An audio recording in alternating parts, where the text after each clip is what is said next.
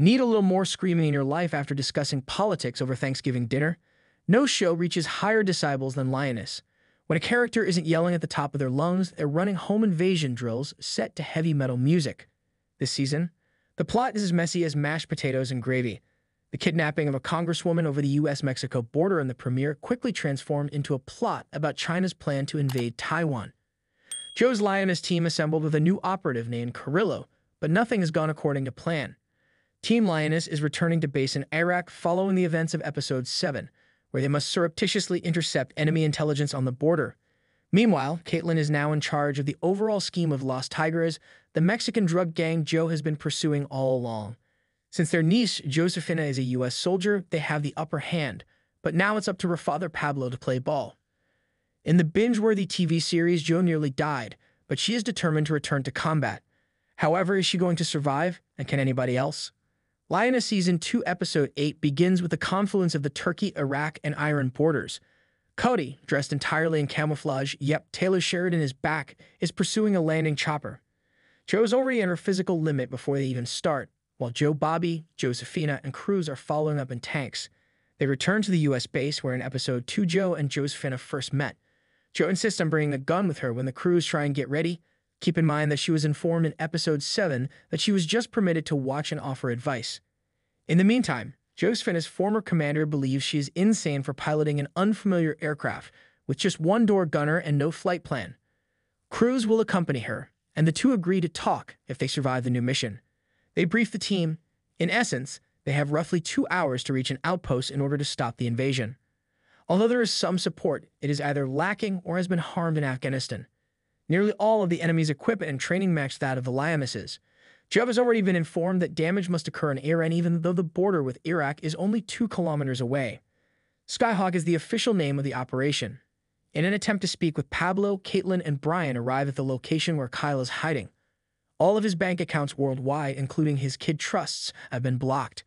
According to Kaitlyn, they are coming to get rid of the threat to U.S. national security, which is actually his brother. What they seek is Pablo's confidence to assist them, which they would then tirelessly protect.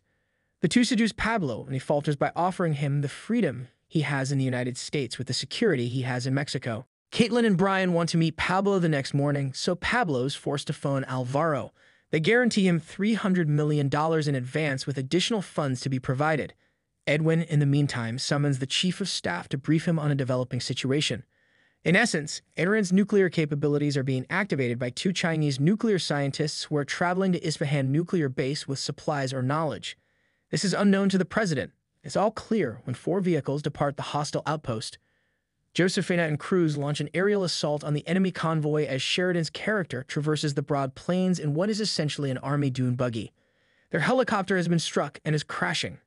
They prepare to collide with the Earth, with Cody in a nearby sniper base attempting to eliminate whoever was left standing in the convoy. Bobby and the on-ground crew are ordered to advance. We cut to Kaitlyn and company being taken to meet Alvaro at an airfield. Before they reach his property, everyone is forced to exit the vehicle, which results in a gunfight. When Pablo calms things down, the automobiles start to move in. After Byron slips a gun into Pablo's pocket, Pablo instantly shoots Alvaro in the face, eliminating the rest of his goons in the process. Pablo informs the other men that the Chinese hostage is CIA property and that the cartel has a new leader. Cruz emerges from the crash in Iran. Although she is unable to walk, Josefina is also alive. Joe and his team are called back to base, leaving them totally vulnerable to approaching enemy vehicles. She tells Bobby that they must arrive first and disregard the directives. A shootout breaks out before they can reach the crash site since they are vastly outnumbered. Cody's abilities are limited and the others are being destroyed. Once the opposing vehicles are disabled, Cody suggests that they retreat, leaving the snipers to cover. Meanwhile, a fresh tank strikes them.